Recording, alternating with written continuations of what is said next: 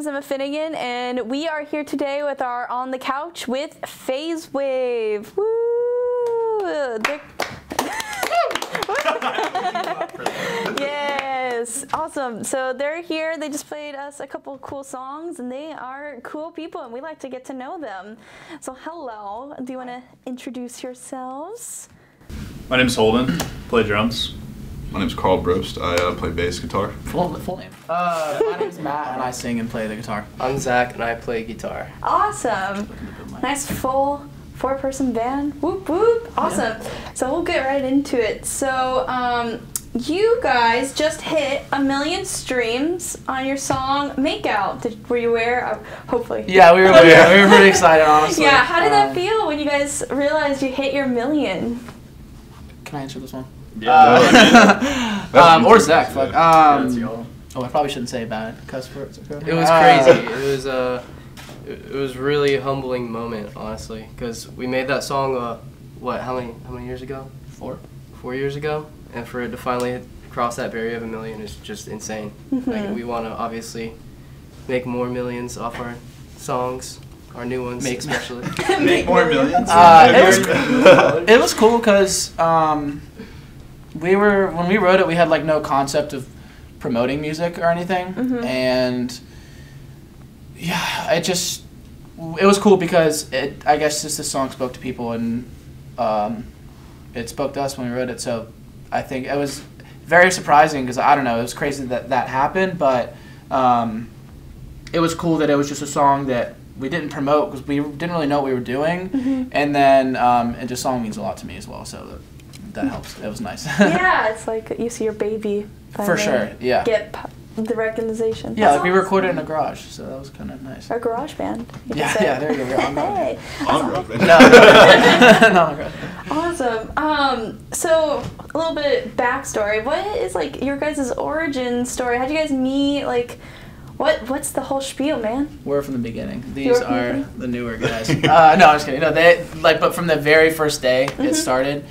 uh, I played guitar and I had never been in a band, and I hit, I texted one of my buddies who um, was I know was jamming with this drummer, and so he's like, yeah, come by and let's all hang out and practice or play whatever, and uh, just with the intention of playing songs. I don't know, um, and then we were played it for like 20 minutes and then we realized we needed another guitar so the drummer who i had just met um, was like this kid in the, zach lives next door and zach you, you can ta- and then so we, we just need another guitarist and then zach came over and since that day we just have been phase wave we just decided we didn't start with cover songs or anything we just wanted to make our music and um, so that day we just started writing random stuff and we needed another guitar and then you can take it from there i guess Yeah. Uh, you came over that day I didn't play guitar at all. Um, I was kind of just going like plucking around, you know, messing around being terrible. Uh, we were making pretty terrible music at the time. Yeah, none of us noticed. We thought you were good. Yeah. Um, but yeah, and then uh, as years progressed, uh, well, the two people that he was talking about that we were jamming with, they both went off to college. Still are super good friends. Yeah, super That's good cool. friends, still pursuing music. Um, but then we went through like two or three other players. Like, it it just necess- wasn't necessarily for them. It was just kind of like we were taking it seriously and doing things, and everyone was kind of like, "Oh, I'll play some music here and there," and then we were like, "No, we're trying to tour and stuff." Mhm. And just, I guess, short story. That's just kind of how it happened. And then, uh, as people came and went, just because they wanted to do other things, um, we found a group that everyone wanted to do this the most, and that's why it's this is Phase Wave, you know. Yeah, So that's cool. And you, now you guys are like Yeah. buddies. and, Brothers, like, yeah. Brothers. Been Brother. with the group for like a little over a year now. yeah, a Year- little, year- I think a little more than a little, like bit year and a more. half, like a year and a half, pretty maybe, good. maybe coming up on two years, I guess. But, but yeah, I started playing music a, a long time ago when I was Mhm. like five or six. Um, I played music forever, and uh, I met Matt my junior high school when I was 16. I, I filled in for Zev, I think. Ironically, when we were going Yeah. through members of the band, Yeah. he filled in for drums one day, and then we ran into I, we ran into each other as we were looking for a drummer. Like, you know, at, at this random at the Bug House, which is like Oh, the old yeah yeah, Bug and, House, and yeah. it- like he was outside and we caught up, and then yeah.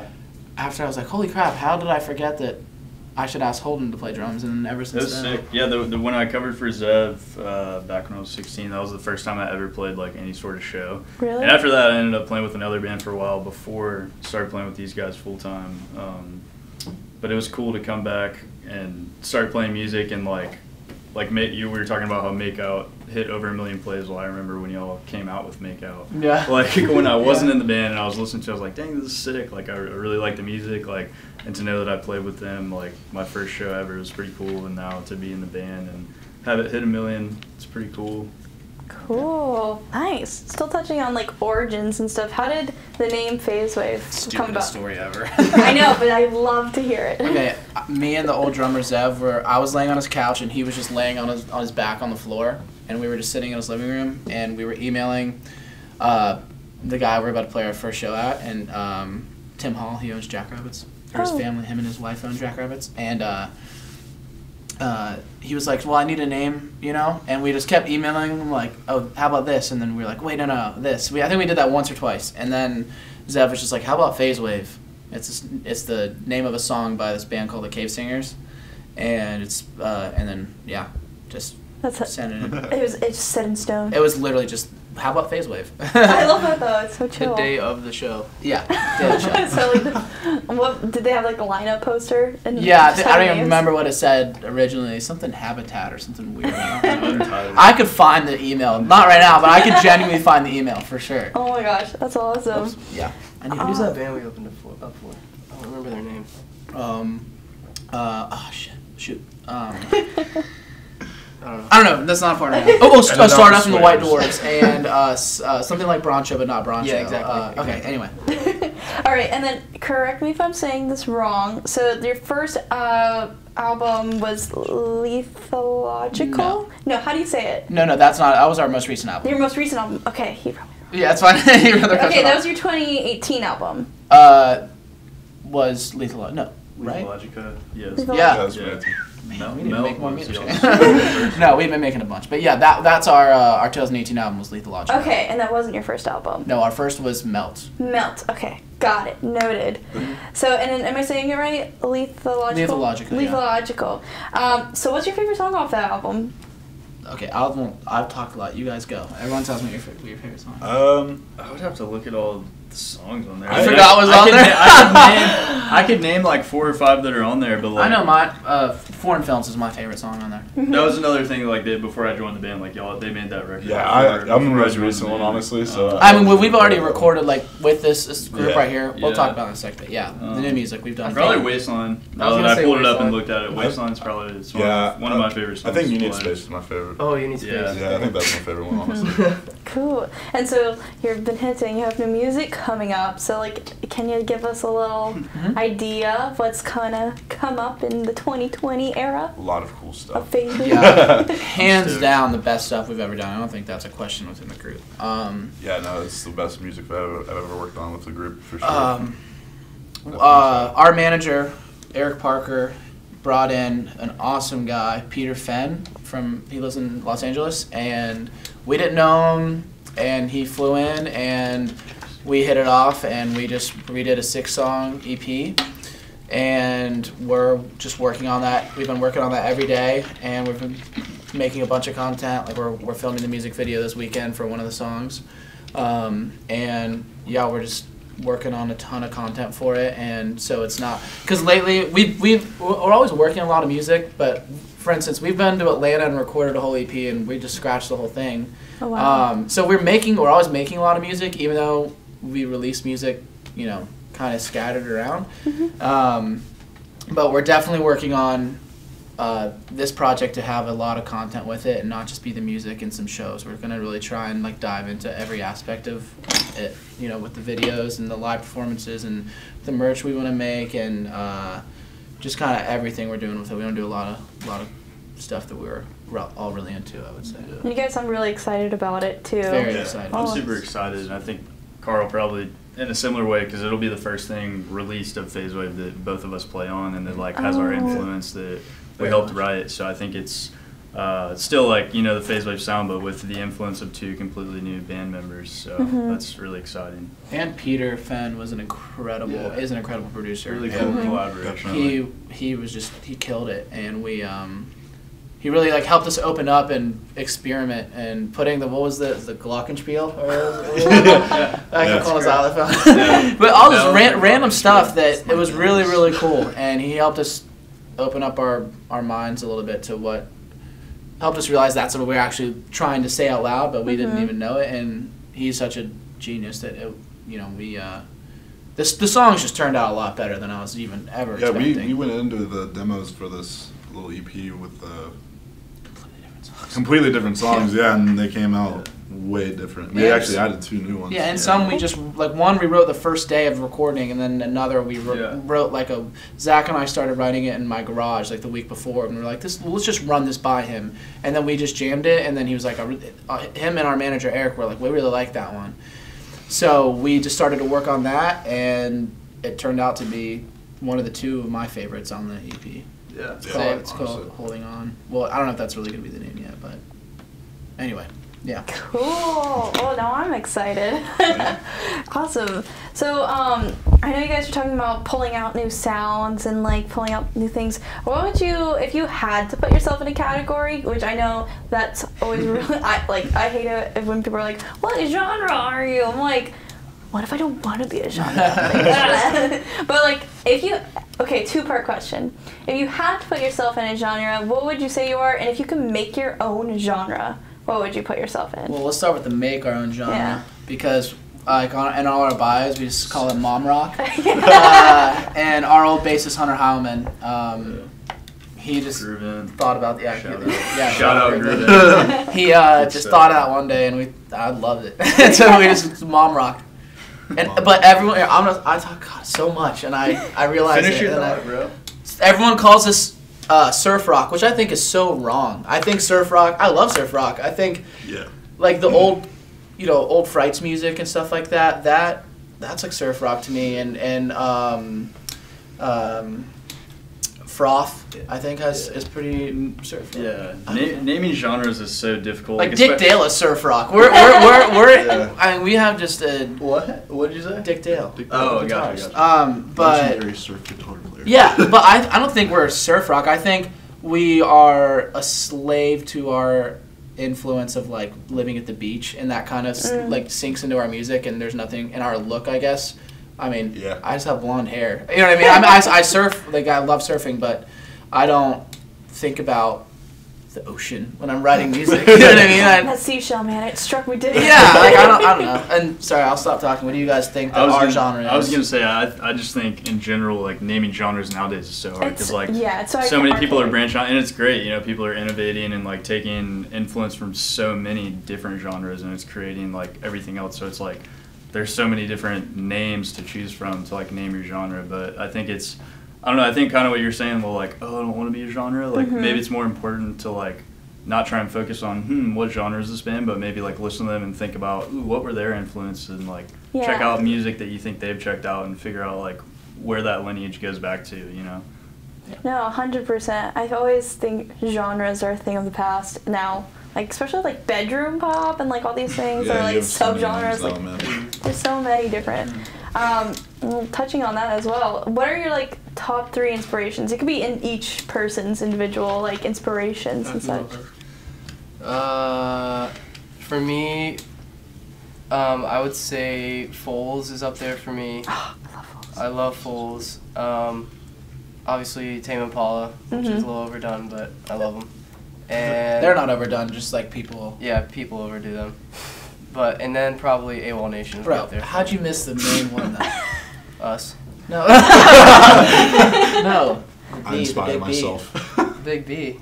Joe. Oh, Broncho, Broncho, Ah. Broncho. Sorry, I missed that one. Big B, bro. Big B, bro. Yeah, they're the best band ever to exist. Yeah.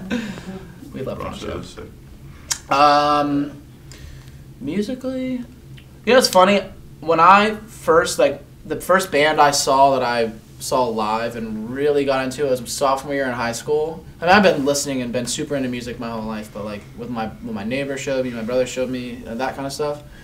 But when I first was like, man, I really want to be in a band. I went to Jackrabbits and I saw the 1975 open up for um, uh, the neighborhood, and um, and that was crazy because I don't know. I, they, they didn't even have the first album out yet, so I was just listening to their original EPs, and that stuff was really cool. But I don't even think that ever bled into like we don't really have that you know, that, that poppy sound, and and I don't know uh, that. I feel like a lot of the stuff I listen to doesn't like the play, way I play guitar. I don't know. I always try to figure it out, but I write the lyrics, and that stuff doesn't come from any other artist. It's just stuff that happens to me. Yeah. So, yeah.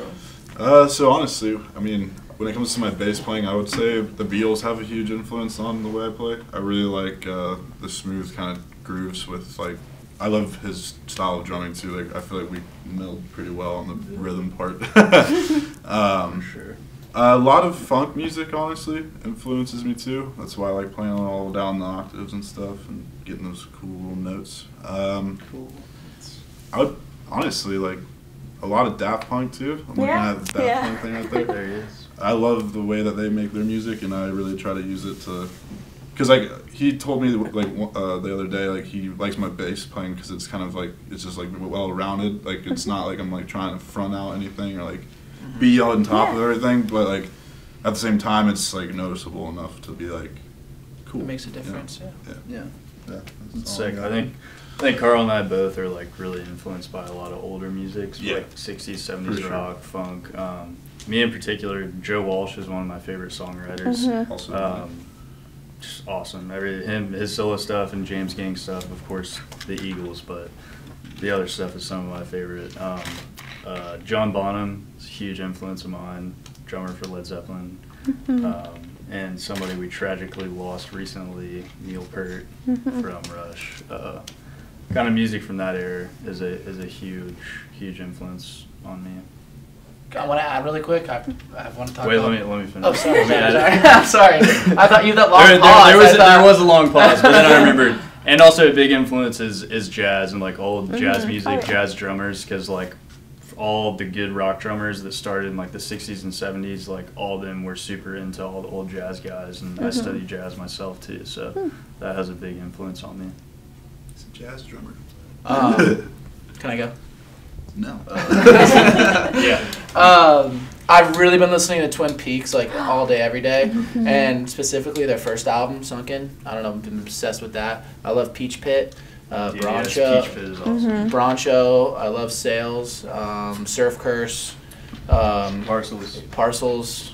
Um, holy crap, I don't know, just like, but yeah, I mean the past like, I don't know how long I've been. I think we could Can't stop listening to Twin Peaks, yeah. hundreds of bands that we all listen to. Yeah. If we really wanted Gus to. Dapperton, um, Strokes. Stro- Oh, well, yeah, yeah. obviously. All right, that's all I have to say. Yeah. Awesome. Well, that was awesome. Yeah. Um, and so, uh, you play a lot of shows with Hensley. Mm-hmm. Um, what are your? Do you guys have a relationship with that band, or like? I what- recorded their Yeah. two songs that are out. Oh, what? Yeah. Um, Did Uh, Hunter Ca- record songs for them too? who? They, he had like their upcoming something. Yeah, he did Clueless with them. Okay. I did Second Place and Give It Up, which are their two songs that are out. Well, so I didn't know. anyway. Mhm. That's awesome. Um, I, I just have to throw in I love their bass player. yeah, they're all super cool awesome. kids. Um, yeah, they're all great. I like playing shows with them and everything. Well, we recorded at this um, studio called A1A Audio Productions with Chris Flowers, and um, Kendall was the singer was there like doing recordings, and Chris had mentioned that she liked our music, uh, and then so I just met her one day when we were in there hanging out or something like that, and then Hensley started, and yeah, I mean we played a lot of shows together, Yeah. and yeah, we're we're good friends with them. Yeah, actually, I remember uh, the first show that I played with y'all at Surfer. Uh, she like came there like really early and hung out with us. Yeah, we're Yeah. well, ca- we're good friends with Yeah, them. I mean, yeah. Kendall was just yeah, like, Yeah. what's going on? They're all great. I think they Uh, have. I think they have a lot of similar influence, like, in or like they just like a lot of similar stuff. They have they have a really cool, like, unique sound. They're all really cool people. Yeah. Awesome. And you guys are playing a show with them soon, right? Uh, February yes, February 22nd. twenty eighth, Twenty eighth. twenty eighth at Yeah, uh, Jack, Jack Rabbits. Rabbits? They're playing that with us. Yes, twenty eighth. Yes. Oh. Jack Rabbits. Awesome. Well, I'll definitely want to see that show. Yeah, Definitely, Sweet. We definitely. It's be a great show. Me and him will be Cool. playing. Yeah, we'll be playing with Denver Hall as well, both of us. hmm Oh yeah, isn't uh, And Yellow Steve's Yellow also Steve. fun. Oh, Yeah, I- I love yeah. Yellow, I Yellow Steve. would, I would like to say, for the awesome. record, Yellow Steve is my Alan favorite. Jacksonville Stevie Steve. band. And Oh, yeah. I mean, I love I love Runners High. I love Hensley. I love Glaze. All those guys. They're I I genuinely love their music. I just Yellow Steve. Yellow. I, and Yeah. I I always like. He, I always like plays new music out loud, and he always like. I remember one time we were outside of Jackrabbits, and I was just showing someone his uh, his music through my phone, and he walked outside. He was just like, and just walked outside. he showed us a new track last night at a at a Denver Hall Yeah. Yellow Steve rehearsal that like it was just super cool. It was brand new. He was showing it to us, kind of like we were running through it like as a group, trying to like arrange how we were gonna play it in a live setting with a band, and it was just like Yeah, it all flowed. yeah, Yeah, he's unreal. so Yeah. cool, and his voice is just Oh his voice, yeah, no, like, I so love him. I saw him at like a house show once, and I didn't know who he was. And then I just like started listening to him on the fly, and then I realized he wasn't like a traveling artist. He's like Yeah. from He's like the nicest guy too. Yeah. He's so humble. Yeah. He's letting us borrow his VHS camera this weekend for He's the, the music man. video. Awesome. Oh, that's so cool. Yeah, man, Jacksonville has a really good like scene and like community growing. feeling, growing. When we started, it was sucked. Dude, I was going to say when I moved back here a couple of years ago, uh, I moved from Tennessee, uh, Memphis, and there was like no scene here. Like when I first got back here, like I remember like I couldn't find anything to do on the weekends, like show wise, honestly. But then, da- uh, the, you know, the whole the bug house and everything, Mhm. David Yeah. Kennedy, that was awesome. That was, huge huge, for the scene. for hmm Yeah. Awesome. Yeah. Well, cool. Do you guys have any last minute like promos or shows you're looking forward to? Or uh, j- I know you're um, you're shooting your music video soon, and that song music is gonna come out soon too. Yeah. So our EP, Wisdom Teeth, we just decided on that the other day. Uh, that is we don't it's, we don't have a date announced yet, um, but it's a six song EP with Peter Fenn, who was the producer, and uh, we're. I've never been so excited about any phase wave music ever. So First um, thing me and Carl will have played on. Yep. So that's super exciting. I want everyone to keep their eyes out for that and uh, some all the music videos and we're just a lot of content we're coming out with in the beginning of this year. So Cool. Yeah. 2020 for Phase Wave. Oh, yeah. Awesome. Well, thank you guys so much for coming Thank and you. playing. Thank you. thanks for having us.